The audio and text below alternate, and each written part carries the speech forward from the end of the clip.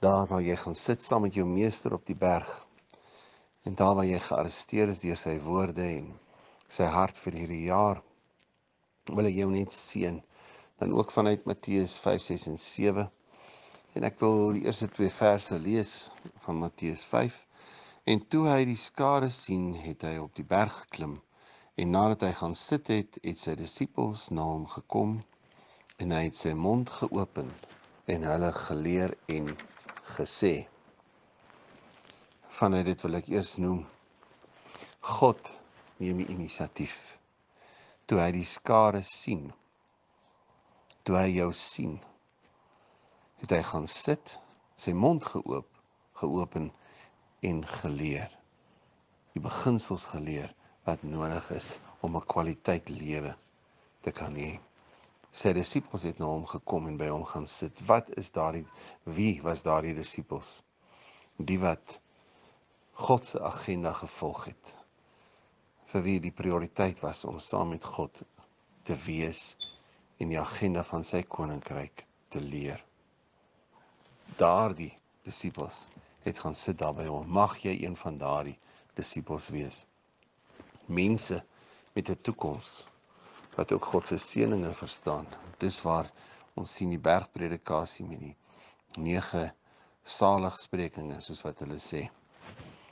Maar daardie saligsprekinge wat sê salig is die wat dit gedoen het, salig is die wat dat gedoen het. Mag dit mense wees wat ons in Engels sal sê people with purpose wat die seëninge van God verstaan. Dat God wil ons nie net seën om geseën te wees nie. Hy wil eintlik hê ons moet gelukkig wees omdat hy gelukkig wil wees. He wants to bless himself by blessing you. Want hy as Pa, hy as Vader is gelukkig en geniet dit as hy kan sien sy kinders is gelukkig en geniet die lewe. Daarom gaan die seëninge en is is ons geluk nie eers in die dingetjies wat hy ons gee nie maar wat ons met daardie dingetjies doen en hoe ons geposisioneer is met die seëninge van God. Dit was mense met 'n doel met 'n toekomsperspektief wat verstaan hoe om God se seëninge te ontvang en wat om daarmee te doen.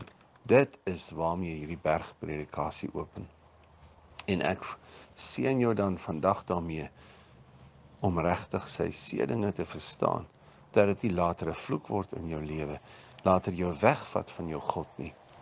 Nee maar deur die seëninge van God in jou werk vir 'n dieper kwaliteit verhouding met jou God waar jy en jou God saam gelukkig is ook in 2021 2021 mag ons geseënd wees ons